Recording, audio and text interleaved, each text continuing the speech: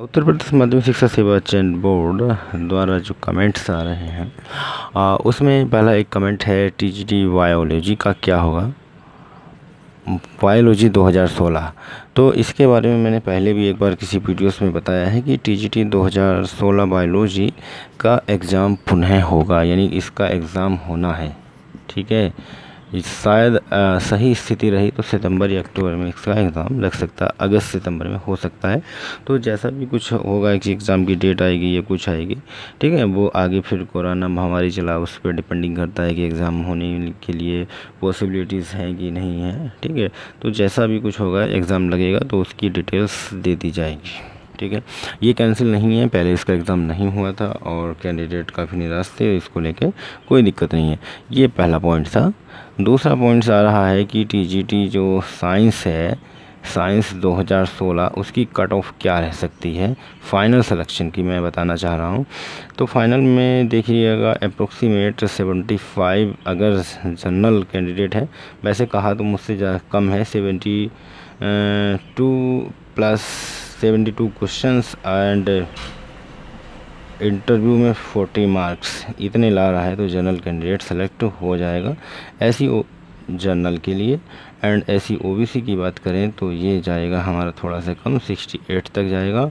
And 68 question पे काफ़ी cum merit गई है यहाँ पे साइंस में। एंड प्लस 40 मार्क्स, ये ओबीसी जाएगा। एंड एससी कैटेगरीज और कम पे मेरिट जाने वाली है, यानी कि 60 क्वेश्चन के आसपास हो जाएगा। ठीक है, साठ क्वेश्चन प्लस चालीस मार्क पे हो जाएगा। ठीक है तो टी जी टी साइंस दो हज़ार सोलह के जो कट ऑफ़ की बात थी, ये इतना लगभग लगभग रहेगा। आगे आता है तीसरा पॉइंट्स कि इंटरव्यूज़ कब से स्टार्ट होंगे। इंटरव्यू कब स्टार्ट होंगे? छूटे हुए हैं, यानी कि एक तो साइंस के चल रहे थे एंड इंग्लिश के चल रहे थे टीजीटी में। ठीक है, कब स्टार्ट होंगे?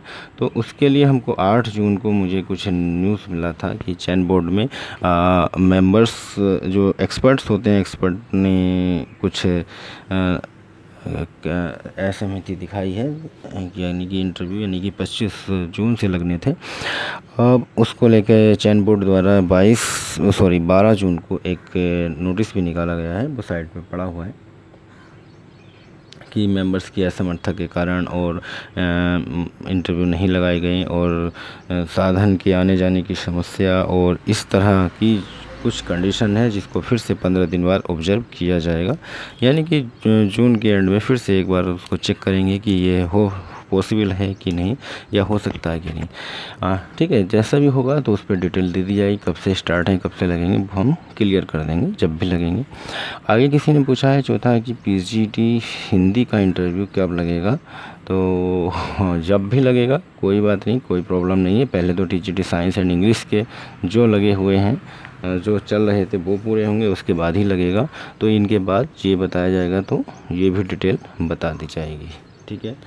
और नेक्स्ट पॉइंट्स आया था इसी में। एंड टीजीडी जो इंग्लिश है इंग्लिश का कट ऑफ़ ये तो मैं शायद पहले में बता चुका हूँ, पहले किसी वीडियोस में, इससे पहले कल वाले कमेंट में बता चुका हूँ। ठीक है? तो तो ये कमेंट आ रहे हैं, और चैन बोर्ड्स के इंटरव्यूज़ कब होंगे, ये कब होगा? तो एक ने कहा है कि टीजीटी की क्या 2022 में न्यू वैकेंसीज आ जाएँगी? बाईस तक हो जाएगी? या ओके होना है।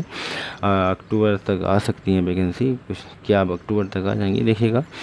अभी चैन बोर्ड के जो अधिकारी हैं, वो असमंजस की स्थिति में सरकार ने कोई ऑर्डर उनको नहीं दिया। वैकेंसीज उनके पास रखी हुई हैं, निकालने के लिए तैयार हैं। बट जैसे भी सरकार का ऑर्डर होगा, तभी वो तुरंत विज्ञापन आ जाएगा। समस्या है कि सरकार चाहती कि नए आयोग से हो, कि या इससे हो, वो खुद असमंजस में है कि इसी से बनाए कि नए आयोग से दें वैकेंसीज तो उसको लेके वो थोड़ा सा कन्फ्यूज़न में है कि नया आयोग बनाने में उन्हें तीन से चार महीने और लग जाएँगे, तीन महीने का टाइम और लग जाएगा। और नया आयोग गठित तो है, सब कुछ तैयार है, उसमें अभी विज्ञप्ति वगैरह देनी है मेंबर्स अध्यक्ष, ये सब मेंबर्स ये सब चुने जाने। उसके बाद वो काम को समझेंगे थोड़ा सा टाइम लगेगा, पंद्रह से बीस दिन और लग जाएगा। यानी मान के चलो, ढाई से तीन तीन महीना लगने के बाद ही वो स्टार्ट हो पाएगा। अब सरकार पर डिपेंड है कि वो टाइम बहुत कम है, क्योंकि जो टाइम बचा है वो आपको दिख ही रहा है। क्योंकि दो हज़ार इक्कीस का एंड यानी जनवरी फरवरी यानी बाईस के जनवरी या फरवरी में चुनाव भी होने हैं। तो बहुत ज़्यादा टाइम नहीं है इसको देखते हुए वो देखिए क्या करते हैं, क्योंकि वैकेंसी आनी भी है, जल्दी आनी है और एग्ज़ाम भी होना है और सिलेक्शन भी होना है। एक बार उस पर जो है, ज़रूर होना है, जो लोग लगे हुए हैं, तैयारी में लगे रहिएगा, क्योंकि आपसे तैयारी करेंगे, क्योंकि हो सकता है कि वैकेंसी आ जाए, दो से तीन महीने बाद एग्ज़ाम हो और टाइम ही ना मिल पाए तो ये भी कंडीशंस हो सकती है। तो तैयारी में अपनी बने रहिए, ख़ासतौर से मैथमेटिक्स वाले एंड साइंस वाले, ठीक है? तो मैथ एंड साइंस वालों के लिए, जो कि काफ़ी काम होता है